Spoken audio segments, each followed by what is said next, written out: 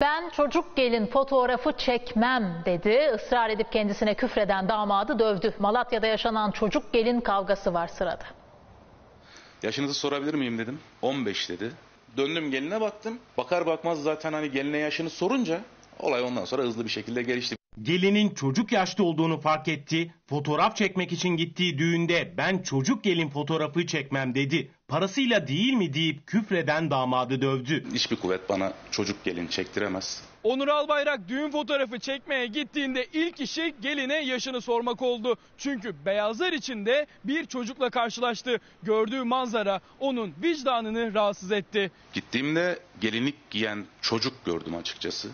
Ve korktuğunu titrediğini hissediyorsun bakarken. 15 deyince damada dönüp çocuk gelin fotoğrafı çekmediğimi bir başka fotoğrafçıyla anlaşmasını istedim. Onur Albayrak'ın uyarısına rağmen damat çekimde ısrar etti. Kavgayı başlatan da işte bu tartışma oldu. Damadın sözleri Albayrak'ı çileden çıkardı. Parasıyla değil mi paranı alıyorsun çekmek zorundasın dedi. Arkamı dönüp giderken küfür hakaret. Onur Albayrak 15 yaşındaki bir çocuğun gelinlik giymesine tepki gösterdi. Ancak onun tek başına gösterdiği bu çaba işe yaramadı.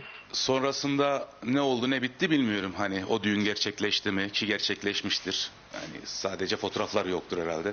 Fotoğrafçının isteği henüz reşit olmayan kızların gelinlik giymesine dur demek için herkesin benzer tavrı göstermesi. Gelinlikçisi gelinliği satmazsa, kuaförü saçını taramazsa, düğün salonu düğününü almazsa, buna benzer olaylar olmazsa bir nebze en azından insanlarda da bir uyandırır bir şeyler yani.